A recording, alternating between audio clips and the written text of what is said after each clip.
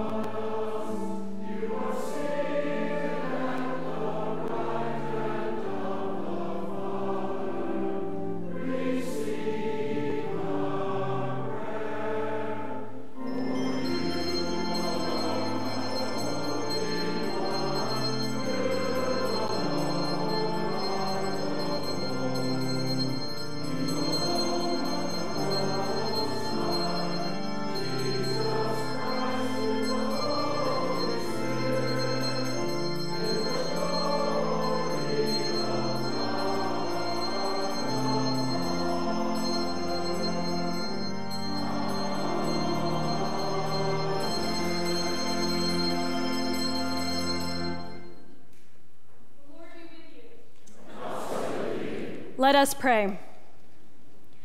O God, who for our redemption gave your only begotten Son to the death of a cross, and by his glorious resurrection delivered us from the power of our enemy, grant us so to die daily to sin, that we may evermore live with him in the joy of his resurrection. Through Jesus Christ, your Son, our Lord, who lives and reigns with you and the Holy Spirit, one God, now and forever. Amen. Please be seated.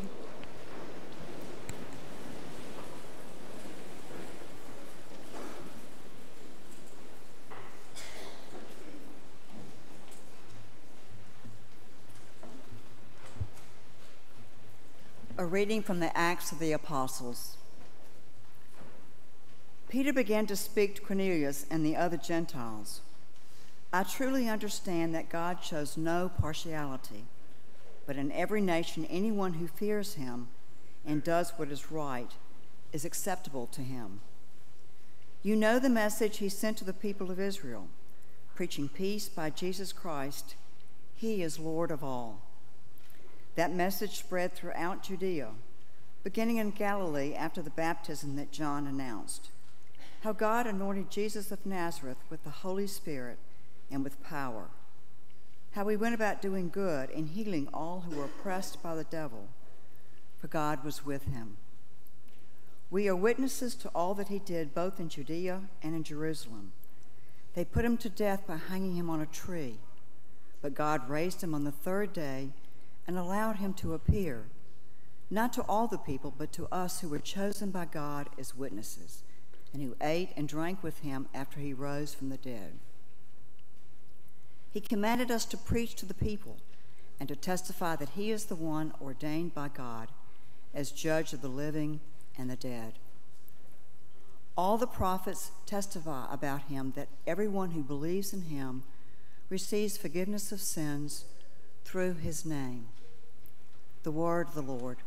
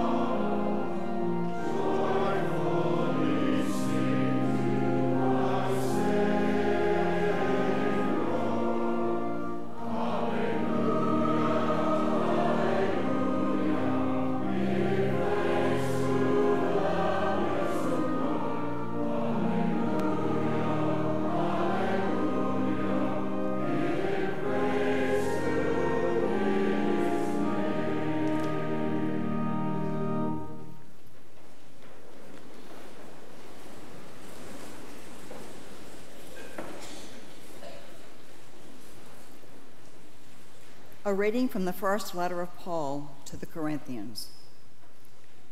Now I would remind you, brothers and sisters, of the good news that I proclaimed to you, which you in turn received, in which also you stand, through which also you are being saved, if you hold firmly to the message that I proclaimed to you, unless you have come to believe in vain. For I handed on to you as of first importance what I in turn had received that Christ died for our sins in accordance with the Scriptures, and that he was buried, and that he was raised on the third day in accordance with the Scriptures, and that he appeared to Cephas, then to the twelve. Then he appeared to more than 500 brothers and sisters at one time, most of whom are still alive, though some have died. Then he appeared to James, then to all the apostles. Last of all, as to one untimely born, he appeared also to me. For I am the least of the apostles, unfit to be called an apostle, because I persecuted the church of God. But by the grace of God, I am what I am, and his grace toward me has not been in vain. On the contrary, I worked harder than any of them, though it was not I, but the grace of God that is with me. Whether then it was I or they, so we proclaim, and so you have come to believe. The word of the Lord.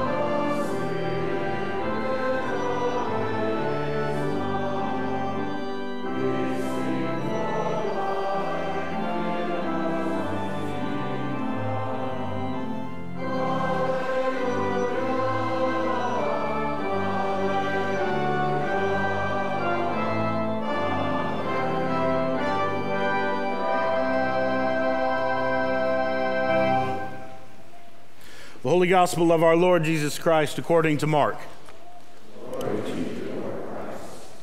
When the Sabbath was over, Mary Magdalene and Mary, the mother of James, and Salome brought spices so that they might go and anoint him.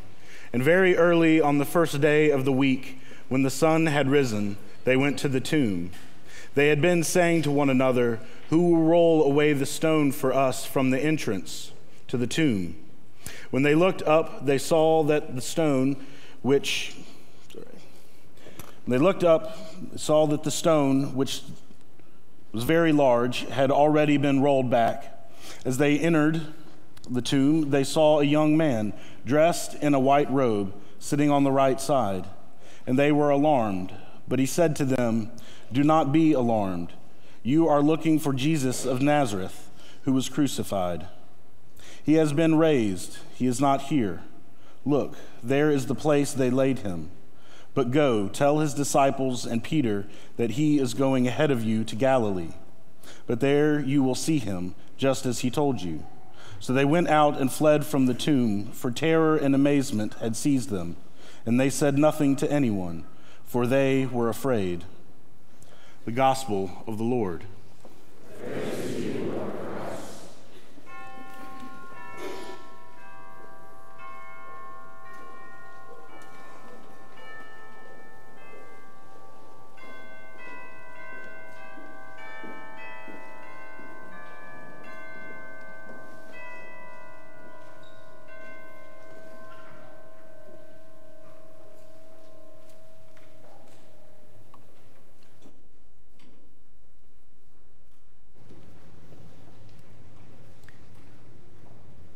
I speak to you now in the name of the Father, and of the Son, and of the Holy Spirit.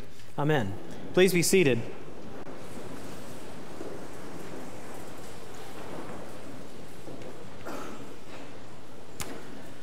Well, happy Easter. It's nice to see everyone in church today. Um, it's interesting because, eh, you know, at the three services so far, there have been interesting little little things that happen that are peculiar. Um, a couple of things that happened at the early service that was a little odd. Uh, and then at the last service, there was a little thing that was odd with the gospel reading. And then today, everyone stood up for the gradual hymn. I'm like, wow, I've never seen that before. So, okay. Um, anyway, but, um, and you paused too, Forbes. Uh, so, but today, today is one of those days where we, um, we gather and we celebrate.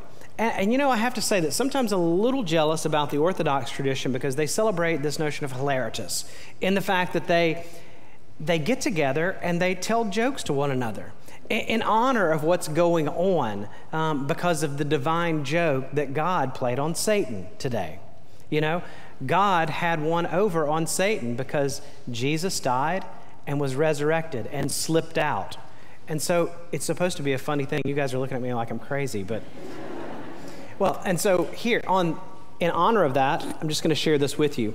Um, there were pre, three priests that got together for a coffee one morning. Much to their surprise, they discovered uh, they all shared a unique situation. Each had bats infesting their belfries, and the bats were making a terrible mess in their churches. I got so mad, said the first priest, I took a shotgun out and I fired at them. It made holes all in the ceiling, and did it do anything? No, they stayed right where they were. Well, the other one said, Well, I tried trapping them alive. I then drove them 50 miles before releasing me, them, but they beat me back to the church. The third simply smiled politely and sipped on his coffee, listening with a sense of ease. He clasped his hands together and he extended them in a relaxed manner and began to speak. Well, I don't have any problems anymore. And the others were a little bit perplexed. And as they looked over, he reached down and grabbed his hat and began to put it on. And they said, Well, wait, what did you do? And he said, Oh, it was simple. I baptized and confirmed him, and I hadn't seen him since. now, I, I, lead off with that because that's what I told my inquirers class a couple weeks ago. Don't fall into that trap of being one of the bats. Um, I was teasing with them, um, but it, was, it fits well with the story of Hilaritas and Jesus rising from the dead um, playing a fast one on Satan, if you will. Um, the other thing that I want to talk about today is that um, there's a little bit going on here about, it, well, I mean, a, a lot of it's in between here for all of us. And so I just want to talk about that because we always have these lessons. If you look in the New Testament, there are lessons time and time again that tell you and explain to you about the resurrection but you're not going to believe it until you're ready to believe it. And so today I thought I would offer a bit of logic with you uh, and a little self starterness because, like it or not, a lot of us are gathered here today because we do intend to worship. But a lot of us here um, came under the guise of being threatened. Did we not? See, I hear laughter. So, one of my favorite self help books that I use when I'm usually talking to youth, um, I've used it at a couple of baccalaureate services and things like that. But it begins like this Congratulations, today's your day. You're off to great places, you're off and away. You have brains in your head, you have feet in your shoes, you can steer yourself any direction you choose. Of course, these are the rhythmic words of advice from Dr. Seuss. It's from his book titled Oh, the Places You'll Go. Now, he continues You're on your own, and you know what you know, and you are the one who'll decide where to go. It's up to us, says Dr. Seuss. The world is ours, and we're free to choose what kind of life we will have, what kind of things we will do. He even provides a warning. You'll look up and down streets, look them over with care. About someone, you'll say, I don't choose to go there. With your head full of brains and your shoes full of feet, you're much too smart to go down a not so good street.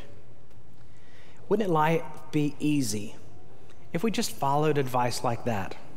Simplific, easy to do, understood correctly. Wouldn't that be easy for life? But instead, we grow up and we tend to put ourselves in the way of our beliefs and our choices we begin to choose what we shouldn't choose. We begin to believe perhaps what we shouldn't believe. Did you know the word intelligence comes from two words, uh, the first being inter, meaning between, and the second, legere, which means to choose. So, an intelligent person is one who has learned to choose between good and evil, between truth and falsehood, between love and hate, between gentleness and cruelty, between humility and arrogance, and even life and death. Life is about choices. As we get older, we realize that. But that's where we are this Easter. This is my third course, if you will, of questions that I started around Christmas. You've come here this morning to worship and celebrate a miraculous event, to spend time with family. But whether or not you came here under the guise of knowing what you believe and what you don't believe, well, that's the question. Can a dead man ever really breathe? Can a dead man ever walk or talk again? You see, it's the one thing to hope for life to come back and be alive again. But it is entirely different to accept that there actually may be an indestructible spirit within us that can overcome death and that re- resurrection may actually be real. I'm told that the human being is thought to be the only creature on earth that is not the prisoner of its own program because it is actually master of it. Now, I question that some, but I'll go on. Birds are often thought to be programmed to fly south in the winter. They don't actually think about doing it, they just do it when the time is right. Beavers build dams. Fish swim in schools. Only humans actually decide on their own to dam something up, or to engage in school, or to return. You see, we have the power to make these kinds of decisions. As I said a couple of years ago, some time ago, I was listening to a podcast on the challenging landscape of American society and its effect on the church. The speaker kept referring to one thing postmodernism, how the church is no longer the, the center of community life, no longer the respected authority on moral and eth- ethical matters it once was. Instead, he says, people often engage in social media, and that to them is truth. Dear Lord, help us. But he went further by saying that the church is one of many com- competing voices in the world today. That's what postmodernism really is bringing us. And then he said something that was odd and it kind of hurt. He said that in postmodern world, many Christians today are really functional atheists. Functional atheists, as he defined them, are those folks who, if asked about their religious beliefs, would be quick to say they believed in God. They might go so far as to say that accepted Jesus Christ as their Lord and Savior. And when pressed, they'd say that believing in God and following the teachings of Christ are important. No question about it. And yet, which was the point he was trying to get across, when it comes down to the important decisions of life and the crises we face from time to time, there is very little evidence that their faith has anything to do with it. For example, a prominent businessman makes a series of bad investments. Before he knows it, his business is teetering on the brink of bankruptcy, and he's facing financial ruin. Without saying a word to anyone or even uttering a prayer, he straightens his desk, makes a stiff drink, places a pistol on his desk, and then takes his own life. A young woman and man fall in love and decide to get married. They stand at the altar and promise to make God the center of their lives and of their home. They promise to raise their children in the church and to teach about Jesus. But in less than a year, they're strapped with a hefty mortgage, two car payments, endless living expenses, and mounting credit card debt. They're so overworked and strung out and t- exhausted that they barely have time for each other, much less God. And you see, we could go on and on with that because these aren't really hypotheticals, are they? They're the stuff of real life. And they're only the tip of the iceberg.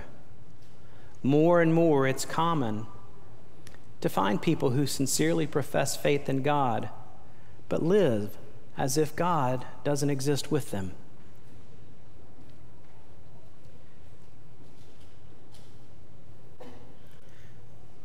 One of my mentors used to ask me when I was still in the process of discernment, Father Chris Hovde. He used to continue to ask me, if you were on trial for being a Christian, would there be enough evidence to convict you? That's what the speaker is talking about with functional atheism.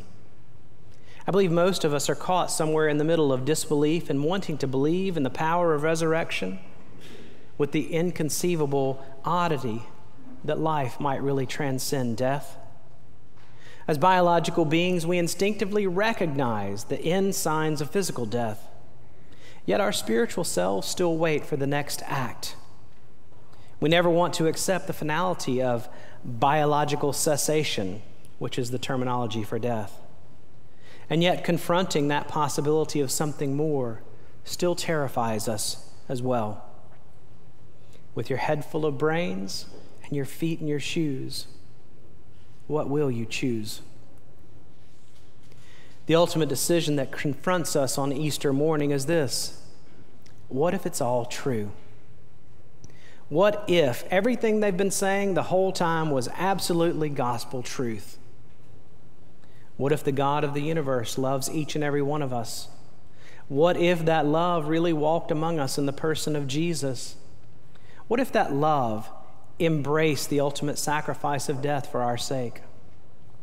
What if that love was able to transcend the finality and power of death and then live again?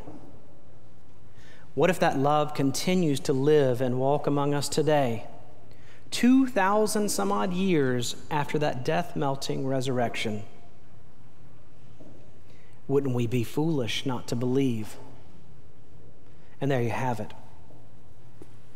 What if it's all true? See, we as human beings know about suffering and death. We may try to protect our children from learning about the horrible truth of humanity, that it is finite.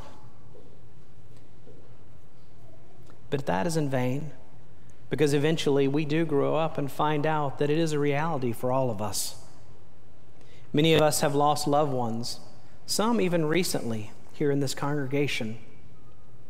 There are many of us who have been handed reminders of the brevity of our lives through the prophetic words of physicians, oncologists, cardiologists, in my own case. Death comes for us all and is a feeling we can only articulate in words of pain and loss. We experience shock and disbelief. Closely on the heels are numbness, depression, loneliness, and a feeling of being lost. Husband or wife, mother, father, grandparent, son, daughter, or grandchild, someone who's no longer there in our lives. There's an empty spot at the holiday table and in our hearts. This is the awful finality about human existence. Early in the morning, on the first day of the week, Mary Magdalene, Mary, the mother of James, and Salome went to the tomb of Jesus. When they got to the tomb, they found the stone rolled away.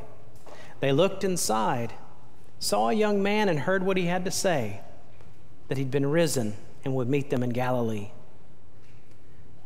Did they experience joy and laughter? Heck no.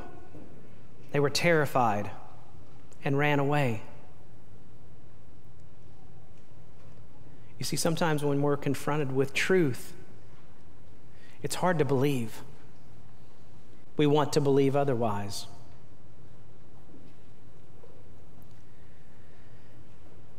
So, for me, and I hope for you, it comes down to faith and trusting that you actually have a brain to think about these things. Dr. Seuss says the choice couldn't be any plainer than that. Congratulations. Today is your day. You're off to great places, you're off and away. You have brains in your head, you have feet in your shoes. You can now steer your direction any way you choose.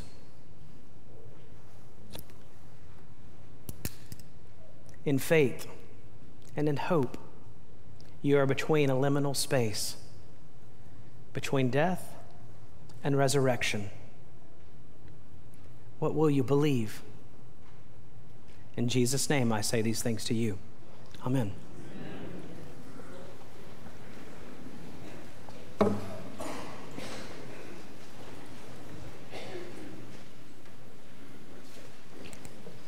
Standing, let us affirm our faith using the words of the Nicene Creed.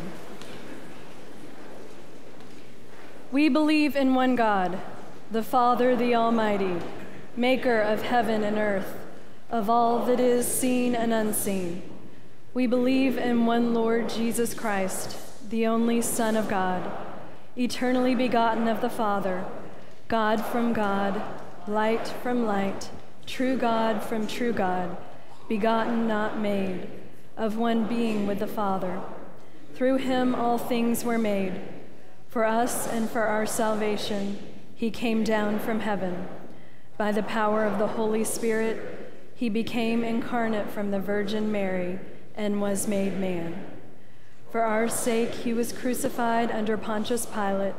He suffered death and was buried. On the third day, he rose again in accordance with the Scriptures.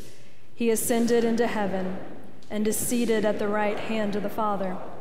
He will come again in glory to judge the living and the dead, and his kingdom will have no end.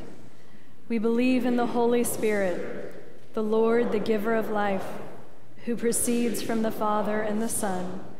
With the Father and the Son, he is worshiped and glorified. He has spoken through the prophets. We believe in one holy Catholic and Apostolic Church. We acknowledge one baptism for the forgiveness of sins. We look for the resurrection of the dead and the life of the world to come. Amen.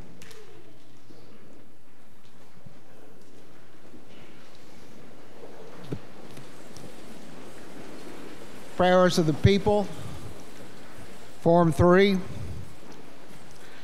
Father, we pray for your holy Catholic Church. You know, I mean, grant that every member of the church may truly and some humbly serve you, that your name may be glorified by all people. We pray for all bishops, priests, and deacons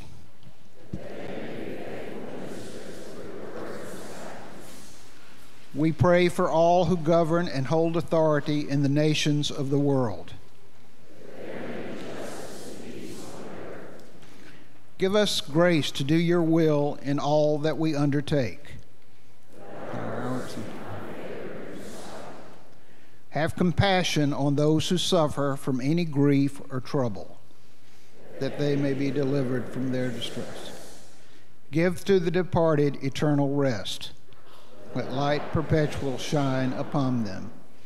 We praise you for your saints who have entered into joy.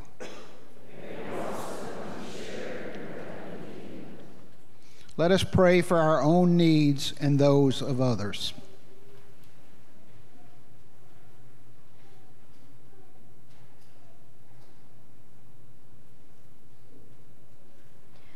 Ever gracious God, we thank you for the gifts of abundant life we have in you, and especially for the life and ministries we share. Hear our prayers and turn our hearts so that we might better see you in this world. Strengthen the bonds of community between us. Consecrate all that is given and received. And keep us ever mindful of your vision, now and evermore, through Jesus Christ, your only Son, our Lord. Amen. Please stand.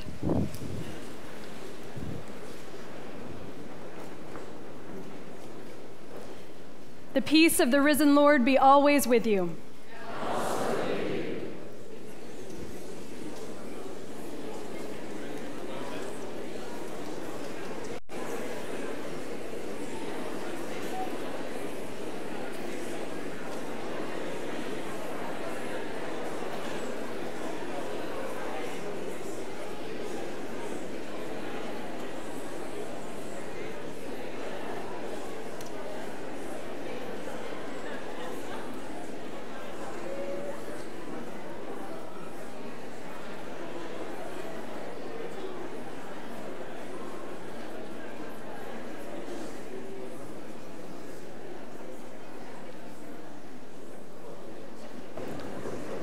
Please be seated.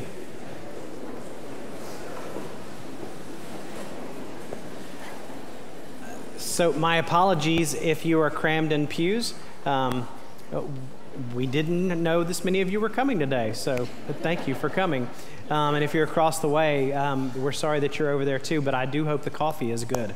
Um, so, um, if you're visiting with us and you've not been to this church before, um, please know that we are thankful that you're here. Um, we hope that you will um, stick around for a little while after this and maybe have a little time of fellowship. But most importantly, we hope that you'll join us now as we break bread together around our Lord's table.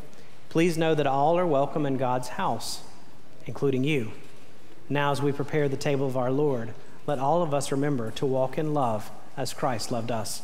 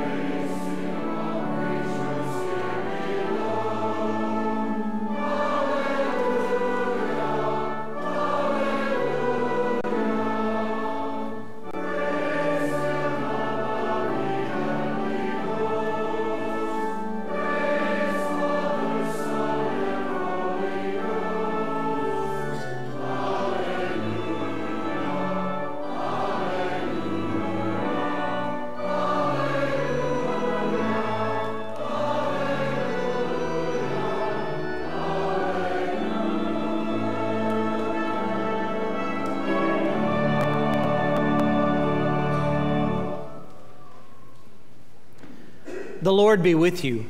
With you. Lift up your hearts. We lift them to the Lord. Let us give thanks to the Lord our God. It is right and a good and joyful thing always and everywhere to give thanks to you, Father Almighty, creator of heaven and earth. But chiefly are we bound to praise you for the glorious resurrection of your Son, Jesus Christ our Lord. For he is the true paschal lamb who was sacrificed for us and has taken away the sin of the world. By his death he has destroyed death, and by his rising to life again he has won for us everlasting life. Therefore we praise you, joining our voices with angels and archangels, and with all the company of heaven, who forever sing this hymn to proclaim the glory of your name.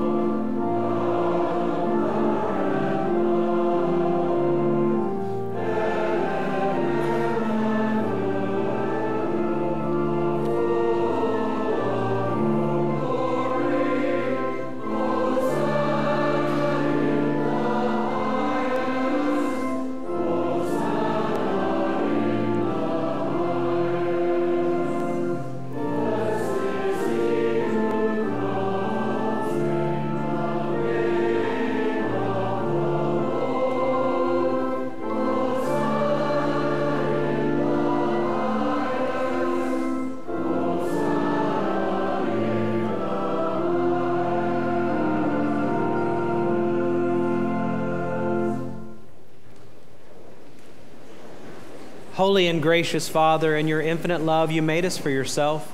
And when we had fallen into sin and become subject to evil and death, you in your mercy sent Jesus Christ, your only and eternal Son, to share our human nature, to live and die as one of us, to reconcile us to you, the God and Father of all. He stretched out his arms upon the cross and offered himself in obedience to your will, a perfect sacrifice for the whole world. On the night he was handed over to suffering and death, our Lord Jesus Christ took bread, and when he had given thanks to you, he broke it and gave it to his disciples and said, Take, eat. This is my body, which is given for you. Do this for the remembrance of me. After supper, he took the cup of wine. And when he had given thanks, he gave it to them and said, Drink this, all of you. This is my blood of the new covenant, which is shed for you and for many for the forgiveness of sins. Whenever you drink it, do this for the remembrance of me.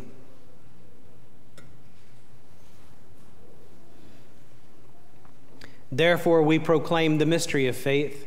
Christ has died, Christ is risen, Christ will come again. We celebrate the memorial of our redemption, O Father, in this sacrifice of praise and thanksgiving. Recalling his death, resurrection, and ascension, we offer you these gifts. Sanctify them by your Holy Spirit to be for your people the body and blood of your Son, the holy food and drink of new and unending life in him. Sanctify us also, that we may faithfully receive this holy sacrament and serve you in unity, constancy, and peace. And at the last day, bring us with all your saints into the joy of your eternal kingdom. All this we ask through your Son, Jesus Christ. By him, with him, and in him in the unity of the Holy Spirit, all honor and glory is yours, Almighty Father, now and forever. Amen. And now, as our Savior Christ has taught us, we are bold to say, Our Father, who art in heaven, hallowed be thy name. Thy kingdom come, thy will be done, on earth as it is in heaven. Give us this day our daily bread and forgive us our trespasses, as we forgive those who trespass against us. And lead us not into temptation, but deliver us from evil. For thine is the kingdom, and the power, and the glory, forever and ever. Amen.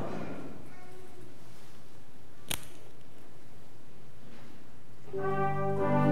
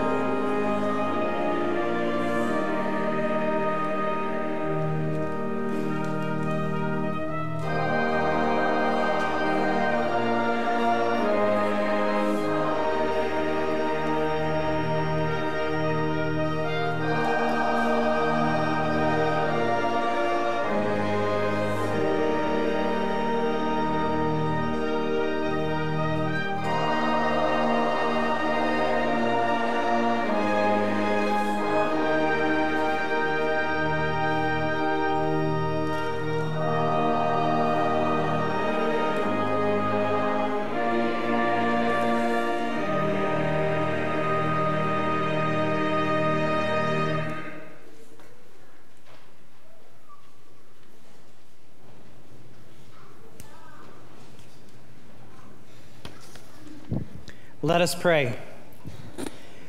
Eternal God, Heavenly Father, you have graciously accepted us as living members of your Son, our Savior, Jesus Christ, and you have fed us with spiritual food in the sacrament of his body and blood. Send us now into the world in peace and grant us strength and courage to love and serve you with gladness and singleness of heart through Christ our Lord. Amen. Friends, we've not much time on this earth. So on this walk, be remembrance to do good things all your days, to follow in the ways of Christ, to remember his love and pass it on to others. I bless you now in the name of the Father, the Son, and the Holy Spirit. Amen.